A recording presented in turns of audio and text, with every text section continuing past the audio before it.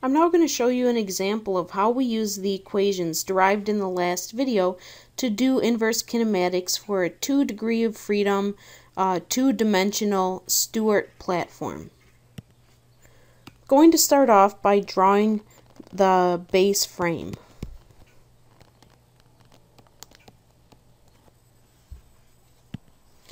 Then I'm going to draw in some of the design characteristics. The locations of the um, where the links are fixed to the base and the locations where the links are fixed to the platform.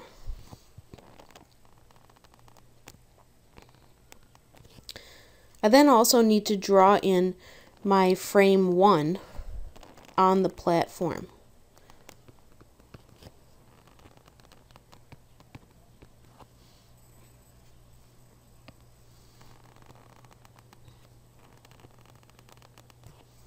Let's suppose that the first joint is connected to the base frame at x equals 1, y equals 1. And let's suppose that the second joint is connected to the base at x equals 3, y equals 2. The other two design variables that I have to specify is the location where these joints are attached to the platform.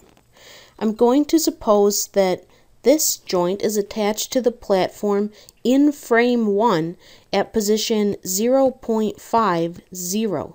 That is where x1 is equal to 0.5 and y1 is equal to 0.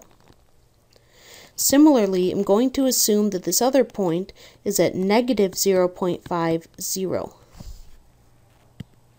Now I'm going to specify the rotation and the position that I would like to have the platform be in. So let's suppose that the desired position for the platform is at x equals 2 and let's say y is equal to 4. In other words, I want this location in the base frame in x0, y0 to be 2, 4. I also have to specify what I would like the rotation matrix to be for the platform relative to the base frame. For now, I'm going to specify that I want the platform to have no rotation relative to the base frame. So in order to specify that with my rotation matrix, I make the rotation matrix to be a uh, the identity matrix. I made the rotation matrix be 2 by 2 here because we're in two-dimensional space. If we were doing this problem in three-dimensional space, then the rotation matrix would need to be a 3 by 3 matrix, as we've seen previously. So now that I have my variables all specified, I'm going to write down the equation for inverse kinematics. The vector SI, that is the vector from the bottom of a joint to the top of the joint, is equal to the desired position of the center of the platform plus the rotation matrix times B. B is the position where the joint is attached at the top of at the platform in frame 1 minus the vector AI where AI is the vector from the center of frame 0 to the location where the bottom of the joint is attached to the ground. I'm now going to plug in some things for these variables. SI is the thing I'm solving for, so I'll leave it alone. And I'll then plug in the vector for P, that's the desired position of the center of the platform in the base frame. I said that would be 2, 4, so I'll plug that in. Plus the rotation matrix, which in this case is the identity matrix, because I don't want the platform to be rotated at all and that rotation matrix is multiplied by b uh, I'll be doing this. This is my calculation right now for the first joint. So I'll go and get B1. B1 is right over here. That's the vector uh, specifying the location of where the joint is attached to the platform. So B1 is going to be negative 0.5, 0, minus AI. A is the vector from the center of frame 0 to the location where the bottom of the joint is attached to the ground. So that vector is going to be 1, 1. So I now do this calculation. 2, 4 plus, I'll multiply this vector times this matrix. So I get 1 times negative 0.5 and then down here I get 0 times negative 0.5 plus 1 times 0. So that ends up being 0 minus 1, 1.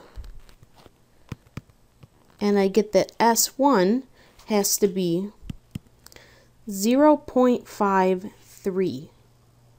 Let's look at what that means up here. 0 0.53 is the vector from the bottom of this joint up to the top of this joint.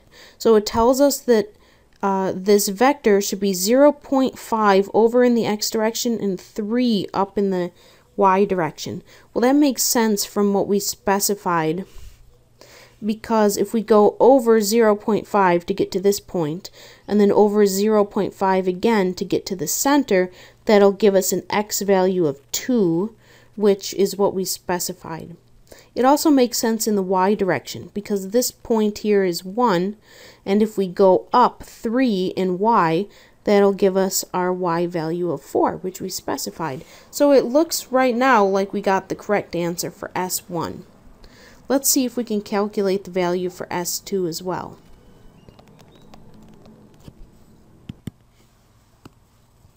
The value for P is going to remain the same because P is our desired position of the platform.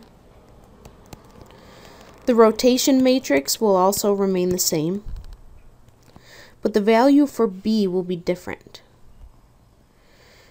B for joint number 2 is this other vector over here. It will be 0.51 or 0.50.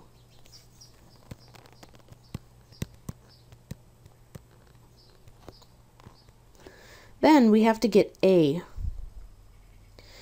A is the vector from the center of frame 0 to the bottom of the joint, so that vector is going to be 3, 2.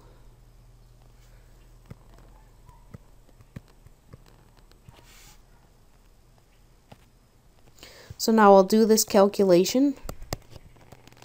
I get 2, 4 plus 1 times 0 0.5 that's 0 0.5. And then 0 times 0 0.5 plus 1 times 0, I get 0 minus 3, 2. So 2 plus 0 0.5 minus 3 is negative 0 0.5. And 4 minus 2 is 2. So this tells us that our vector from the bottom of this joint, joint number 2, to the top of joint number 2 is negative 0.5 in the x direction and 2 in the y direction. So if I go over negative 0.5 in x from this starting point, I get to 2.5. And if I go an additional 0.5 from the the top of the joint to the center, that gets us to x equals 2, which is correct. That's what we were trying to get to. The y value starts out at 2, and then our s vector that we just solved for says we go up 2 additional, and that gives us a y value of 4. Um, which is again what we were looking for. So it looks like our S1 and S2 values are correct. The last thing we want to do here is we want to find the lengths of S1 and S2. The lengths are what we actually send to our controller to command the joint to do. Our joint will be able to ex expand or contract an amount that we command it to. So we want to find the lengths of S1 and S2. And that's fairly easy to do. So if we have S1 and that's equal to 0 0.5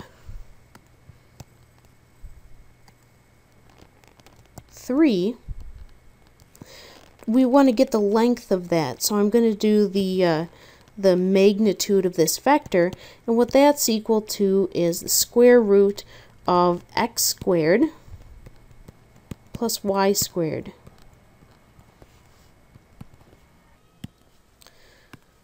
So when I put this into my calculator, it tells me that the length of uh, that joint should be approximately 3.04. I can then do the same thing for S2. S2 we calculated to be negative 0.52 and we want to find the length of the vector so that we can send that value to the controller. So I'll take the square root of the first value, the x value, negative 0.5 squared, and I'll add on the square of the second value, 2 and we find that the length of this joint should be about 2.06. Now that we have the values that will actually be sent to the controller to achieve this position and rotation, we're done.